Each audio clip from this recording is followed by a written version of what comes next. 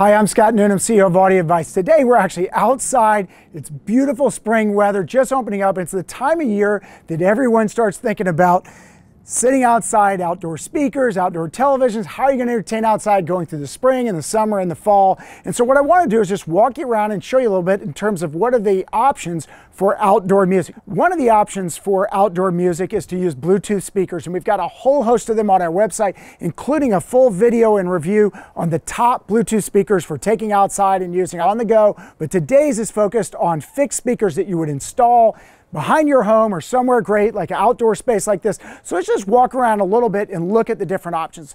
The first one I want to talk to you about are traditional in-ceiling speakers that you would see inside a home, but they make marine versions that go on porches, no problem year round. And it's a great thing to do on smaller mid-sized porches. You just put them in, you can do white or black most of the time. We do lots of those here at Audio Advice.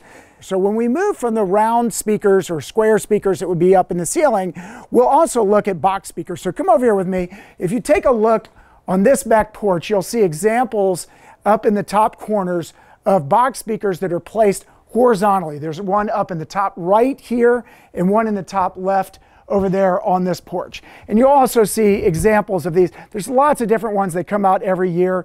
At Audio Advice, we go through, figure out which ones handle the best, which ones got the best warranties and the best price performance, and we bring them. So if you either call us or come into one of the stores or check out us on audioadvice.com, you'll see the ones that we're carrying that are best for that particular season. Now let's move from these to talk about two other types of speakers that go outside. One is planter speakers, although there tend to be less of those now, and that's where you put a plant into the speaker itself and it sits outside and you run the cables out to the planter and then rock speakers. So let's, let's jump over and take a look at some rock speakers.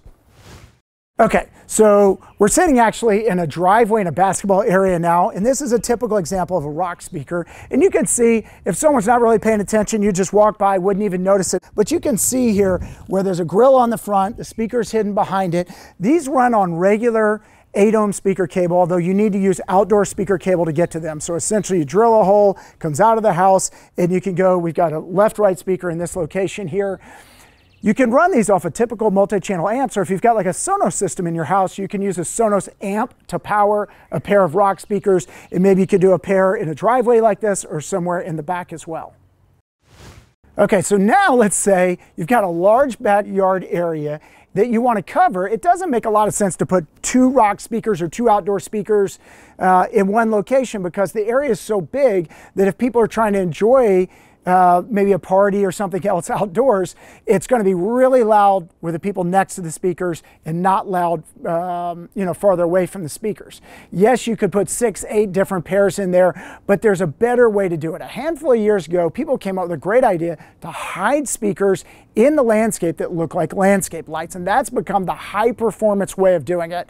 Audio Advice installs these pretty much all spring, summer, and fall as people decide to add these things into their homes. You'll see as we walk along, in this particular case, they're hidden in lots of different locations. You can see one that's on the ground there. This one's actually hidden in a bush, and we can only see it now because this has been recently trimmed. 30 days from now, you won't be able to see that speaker. The bush will fully cover it and it'll be hidden in there. And we keep walking along, you can see another one here. But what these satellites do is you have a pair of cables that come out and they sort of daisy chain from one speaker to the next. They generally run on what's called a 70 volt system. A 70 volt system allows you to run longer distances than you could for a traditional 8 ohm system, which you'd find with rock speakers or with planter speakers. And you can even add, as an example, if you look in here, there's lots of ways to do this, but this is actually a subwoofer hidden in the ground here.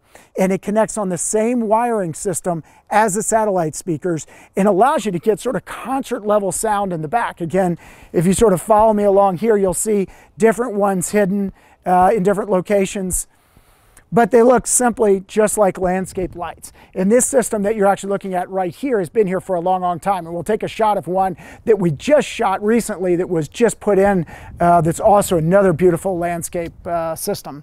But you can see all the, goes all the way across. You can add and subtract from a system like this and use 170 volt amp to handle all of them. But it does provide high performance uh, music.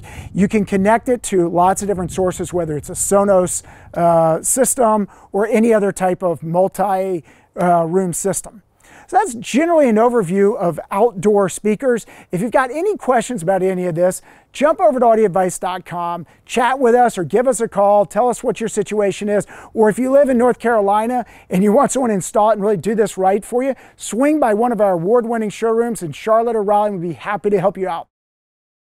If you enjoyed this video, like and subscribe to get more great content on home audio, home theater, or anything else audio and video related. Thanks for watching.